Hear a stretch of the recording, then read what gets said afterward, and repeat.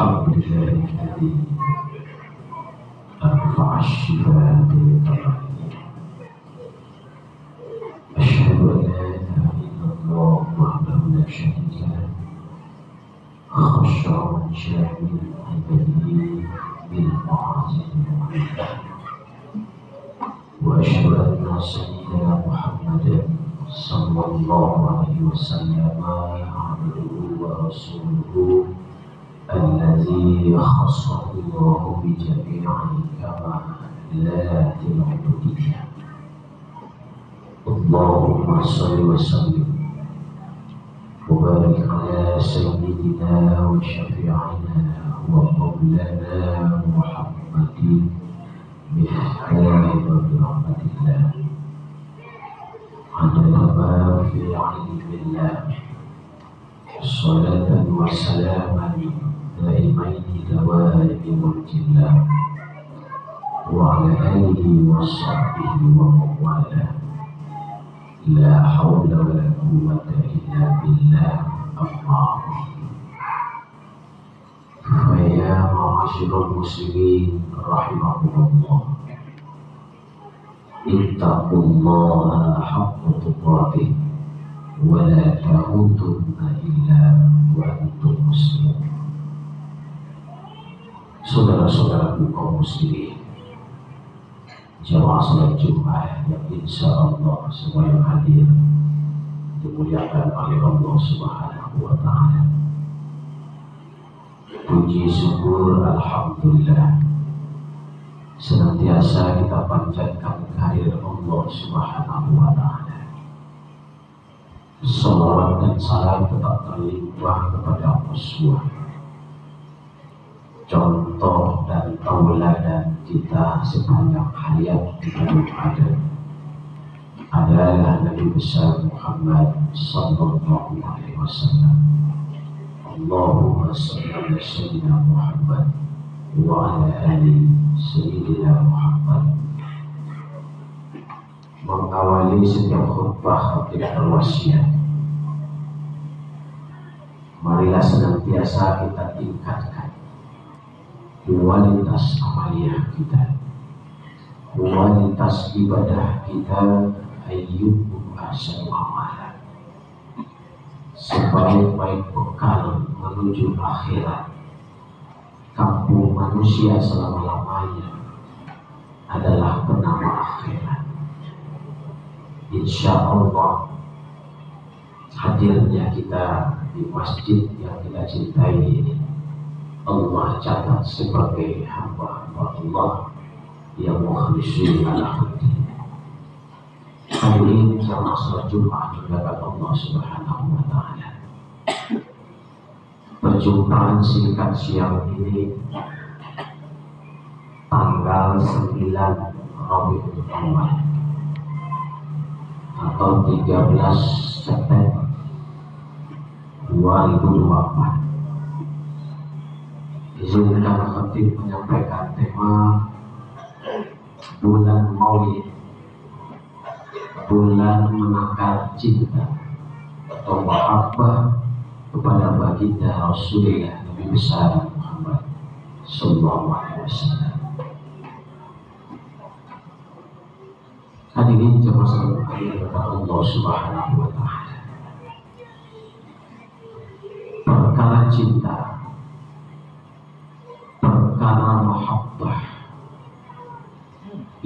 salah satu syarat yang paling mendasar yang paling fundamental dalam meraih berkah rahmat bahkan syafaat kelak bagi Rasul perkara cinta perkara mahabbah kepada baginda Rasulullah Nabi besar Muhammad Sallallahu Alaihi Wasallam. Sudah khatam kita bahas orang-orang yang beriman, bagaimana mengekspresi cinta.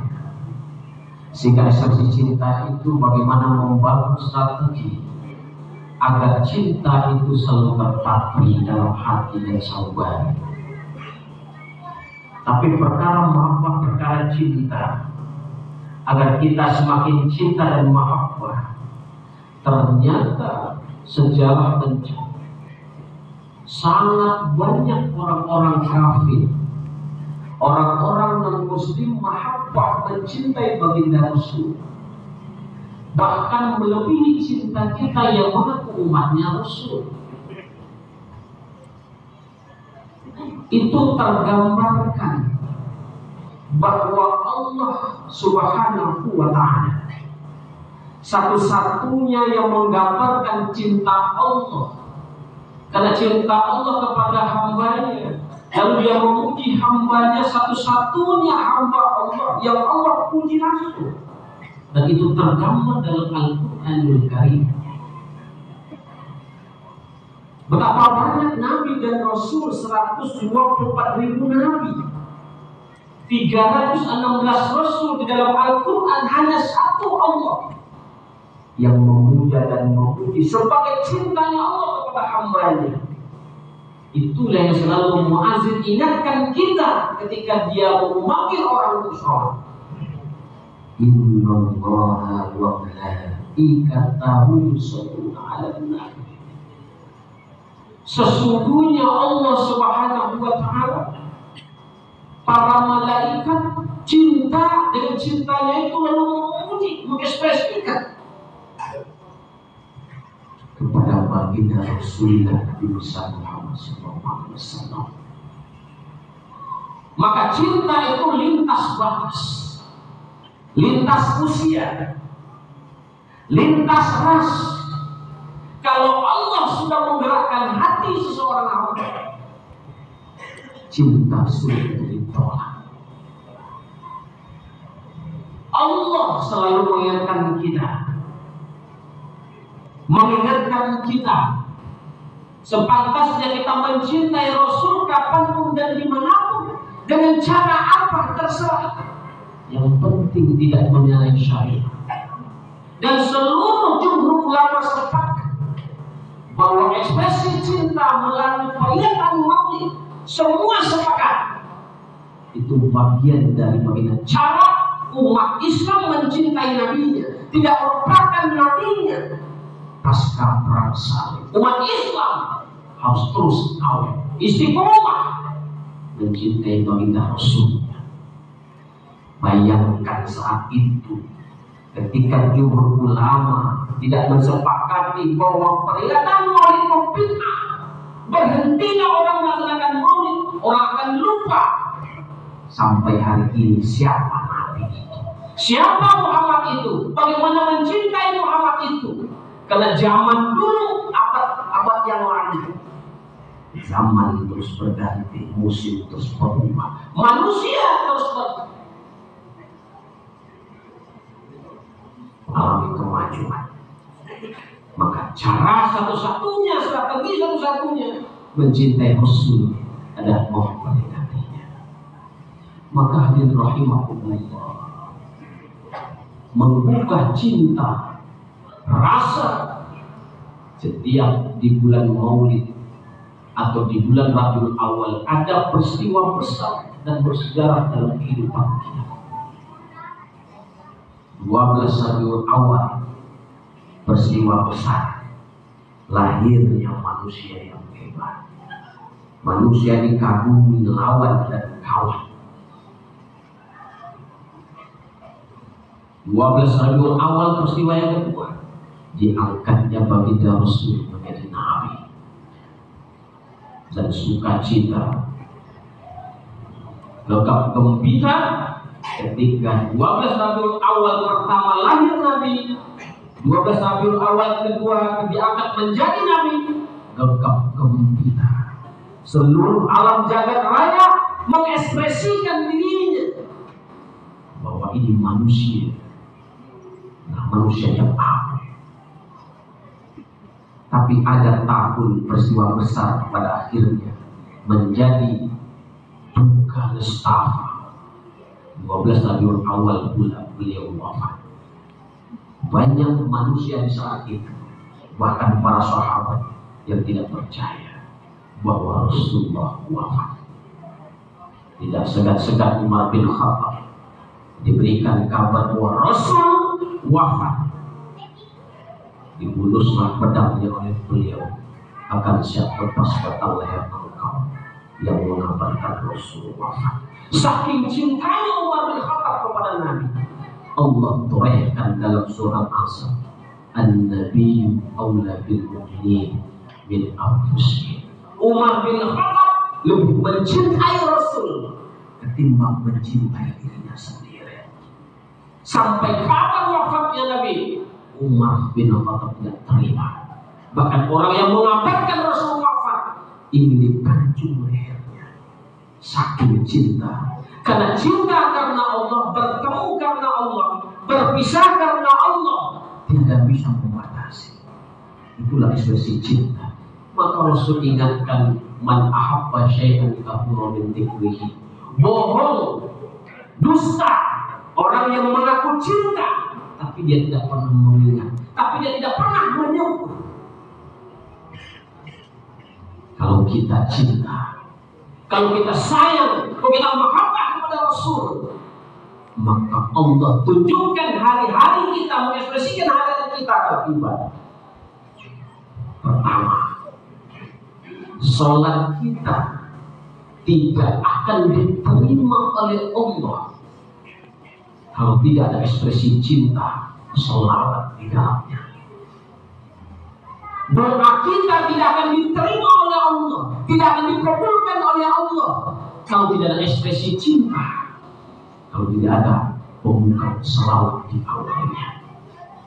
Bahkan khatib hari ini berkhutbah tidak akan memenuhi rukun dan syaratnya, tidak akan diterima oleh Allah kalau tidak ekspresi cinta berselawat kepada Nabi. Bahkan keislaman seseorang tidak akan sah. Tidak akan diterima oleh Allah kalau tidak ada syahadat lain.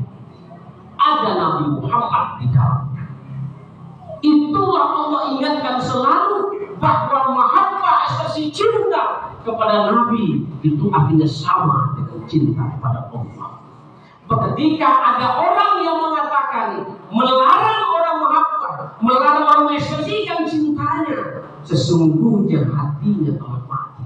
Sesungguhnya hatinya telah buta. Sesungguhnya hatinya telah rusak. Apatah lagi orang yang baru kemarin taubat, baru berguru 10-12 ustaz sudah memfatwakan bahwa orang yang memperingati maulid itu adalah bid'ah. Bid'ah adalah dolala. Dolala adalah fitnah. Ini sungguh hati yang telah mati. Man ahabba syai'an kafir min Omong kosong. Kalau orang mencintai Rasul, melarang orang mengekspresikan cintanya kepada Rasul. Allah saja mengekspresikan cintanya. Yang menciptakan nabinya, yang menciptakan Rasul, mengekspresikan cintanya tapi ketika ada orang yang baru kemarin punya ilmu, baru kemarin punya sekolah, baru kemarin punya guru, memfatwakan dengan segenap lisan dan jiwanya, sungguh orang yang akan merugi.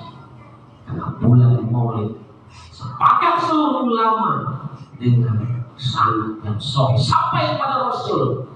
Cinta itu tidak ada dalilnya Cinta itu tidak ada batasnya. Maka cintailah Rasul itu dengan cara apa? Pertama, taat pada Rasul. Baca Nabawiyah. Bagaimana perjuangannya. Bagaimana besar cintanya. Bagaimana pengorbanannya. Bagaimana kecintaannya luar biasa pada umatnya ketimbang anak istri dan seterusnya. Ketimbang ahlinya ketimbang keluarganya. Bahkan Allah tunjukkan di akhir hayatnya yang beliau panggil adalah umati umati umati itulah gambaran cinta. Jadi baiknya seseorang buruknya seseorang lihat di akhir hayatnya. Baiknya seorang pejabat lihat di akhir jabatannya. Baiknya seorang raja, lihat di akhir kerajaannya. Di situ Allah sudah gambarkan kepada kita. Tidak ada cara lain yang tergantikan. Laqad kana lakum fi Rasulillahi uswatun hasanah. Cinta kepada Nabi melahirkan ratusan-ratusan cinta dan mahabbah yang menjadi landasan insya Allah mendapatkan syariat.